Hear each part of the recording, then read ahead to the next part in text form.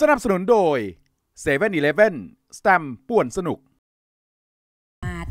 ข้อมูลเรื่องสภาพอากาศจากทางกรมอุตุนิยมวิทยานะคะ วันนี้ประกาศเตือนพื้นที่เกือบทั่วทุกภาคของประเทศเลยค่ะ ประมาณ 50 จังหวัดด้วยกันจะมีฝนตกหนักบางแห่งนะคะ และสำหรับในพื้นที่ภาคเหนือรวมถึงพื้นที่ภาคตะวันออกเฉียงเหนือค่ะ ฝนจะมากหน่อยประมาณร้อยละ 80 ของพื้นที่นะคะ แล้วปรากฏว่าเมื่อค่ำคืนที่ผ่านมาค่ะคุณผู้ชมในพื้นที่จังหวัดลำปาง ฝนเนี่ยกระหน่ำลงมานะคะ ก็มีภาพความเดือดร้อนของชาวบ้าน เราจะเห็นว่ามีภาพของน้ำท่วมขังท่วมพื้นผิวการจราจรนะคะ ส่งผลกระระทบต่อการใช้ชีวิตของประชาชนค่ะ กลางดึกที่ผ่านมาค่ะ ที่พื้นที่ตัวเมืองลำปาง ฝนตกหนักลงมา นานนับชั่วโมงเลยนะคะ แล้วก็ถือว่าเป็นฝนถล่มหนัก เป็นครั้งที่ 2 ในรอบสัปดาห์นี้ ถนนในเขตตัวเมืองลำปาง หลายเส้นทาง มีน้ำท่วมขัง ส่วนใหญ่เป็นพื้นที่กลางเมืองค่ะ อย่างเช่น ถนนฉัดชัย บริเวณแยกเพนซับถนนสวนดอก ด้านข้าง มหาวิทยาลัยสวนดุสิตลำปาง ฝั่งถนนทางไปโรงพยาบาลลำปางด้วยนะคะ เส้นทางสายสำคัญต่างๆ ก็จะเป็นร้านค้ารายย่อยบ้านเรือนประชาชน บางจุดระดับน้ำลึกประมาณ 30 ถึง 40 เซนติเมตรรถเล็กไม่สามารถผ่านได้นะคะเนี่ยมีภาพของประชาชนช่วยกันวิทย์น้ำออกมานะคะค่ะส่วนชุมชนสุขสวัสดิ์2เป็นชุมชนใหญ่อยู่ในเขตเมือง น้ำท่วมเต็มถนนซูเปอร์ไฮเวย์สายลำปางถึงเกาะคา ทะลักเข้าไปยังบ้านเรือนประชาชนนะคะ ล่าสุดสำหรับเช้าวันนี้ค่ะ นี่เป็นภาพที่รายงานโดยตรงมานะคะ สถานการณ์ถือว่ากลับเข้าสู่ภาวะปกติในทุกพื้นที่แล้ว แต่อย่างไรก็ตามค่ะสำหรับสภาพอากาศที่ลำปางเช้านี้ ท้องฟ้ายังคงเต็มไปด้วยกลุ่มเมฆฝนนะคะ คาดว่าวันนี้อาจจะมีฝนตกหนักอีกได้ โดยสถานีอุตุนิยมวิทยาลำปางประกาศแจ้งเตือนทุกพื้นที่ทั้ง 13 อำเภอค่ะ ให้ระวังการเกิดฝนฟ้าขนองประมาณร้อยละ70 ของพื้นที่ และฝนตกหนักบางแห่ง ให้ระวังการเกิดน้ำป่าไหลหลากและน้ำท่วมฉับพลันด้วยค่ะ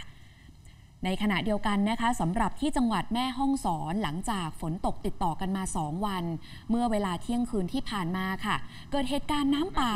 หลากที่บ้านห้วยผาตำบลห้วยผาอำเภอเมืองแม่ฮ่องสอน มีทั้งเจ้าหน้าที่และชาวบ้านนะคะ 5 คนด้วยกันไปติดอยู่ในเขตอุทยานแห่งชาติถ้ำปลาผาเสือ แต่เจ้าหน้าที่ก็ยังไม่สามารถเข้าไปช่วยเหลือผู้ประสบภัยออกจากพื้นที่ได้ เพราะว่ากระแสน้ำแรงมากนะคะ แต่ผู้ประสบภัยเองค่ะอบพยพขึ้นไป อยู่ในจุดที่ปลอดภัยแล้ว แล้วก็ยังมีข้อมูลนะคะเป็นการแจ้งเข้ามาค่ะ หญิงชาวบ้านคนหนึ่งที่บ้านห้วยผาสูญหายไปหนึ่งคน ทีมกู้ภัยกำลังค้นหาอย่างเร่งด่วนแล้วค่ะ ส่วนที่สะพานซูตองเป้แหล่งท่องเที่ยวที่ได้รับความนิยม ก็จะเป็นสะพานที่เชื่อมต่อระหว่างวัดภูสมะกับบ้านกุ่งไม้สักตำบลปางหมูอำเภอเมืองแม่ฮ่องสอนค่ะ ก็ถูกน้ำป่าซัดสะพานขาดได้รับความเสียหายไม่สามารถสัญจรผ่านไปมาได้ด้วยเช่นเดียวกันนะคะ นี่คือภาพความเสียหายล่าสุดเลย ซึ่งทางด้านของจังหวัดตราดแม้ว่าฝนจะเบาลงมาแล้วนะคะ แต่ว่าทะเลยังคงมีคลื่นลมแรงทำให้แหล่งท่องเที่ยวต่างๆ ค่อนข้างเงียบเหงาค่ะ โดยเฉพาะสถานที่ท่องเที่ยวตามชายหาดต่างๆ ปกติแล้วเนี่ยจะมีนักท่องเที่ยวเดินทางมาเที่ยวเล่นน้ำทะเลกันทุกวัน ส่วนช่วงนี้นะคะคลื่นลมแรง บริเวณชายหาดบานชื่น พื้นที่ตำบลไมรูดอำเภอคลองใหญ่ ค่อนข้างเงียบเหงามาหลายวันแล้วค่ะ เพราะว่าชายหาดมีการปักธงแดงเตือนห้ามนักท่องเที่ยวลงเล่นน้ำดังนั้นนะคะ ร้านค้าตามแนวชายหาดก็เงียบเหงาไปด้วยค่ะ ไม่ได้มีร้านค้าลงมาขายในพื้นที่นะคะ ฝนทิ้งช่วงไป แต่ว่าลมทะเลยังคงค่อนข้างแรงนั่นเองค่ะ ส่วนข้อมูลจากกรมอุตุนิยมวิทยารายงานว่าประเทศไทยยังคงมีฝนฟ้าขนองเกิดขึ้น และมีฝนตกหนักบางแห่ง ในภาคเหนือ ภาคตะวันออกเฉียงเหนือ มีฝนฟ้าขนองร้อยละ 80 ของพื้นที่นะคะ ภาคกลาง ภาคตะวันออก ฝนฟ้าขนองร้อยละ 60 ของพื้นที่ ภาคใต้ร้อยละ 40 ของพื้นที่ ส่วนกรุงเทพมหานครและปริมณฑลมีฝนฟ้าขนองร้อยละ 60 ของพื้นที่ และมีฝนตกหนักบางแห่ง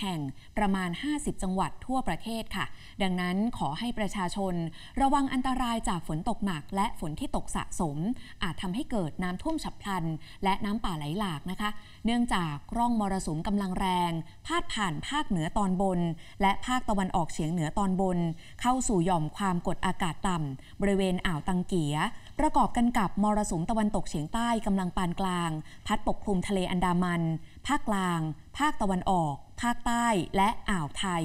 สำหรับคลื่นลมบริเวณทะเลอันดามันและอ่าวไทย มีกำลังปานกลางค่ะ คลื่นสูงประมาณ 1-2 เมตร แล้วจุดที่เกิดฝนฟ้าขนอง คลื่นจะสูงมากกว่า 2 เมตรนะคะ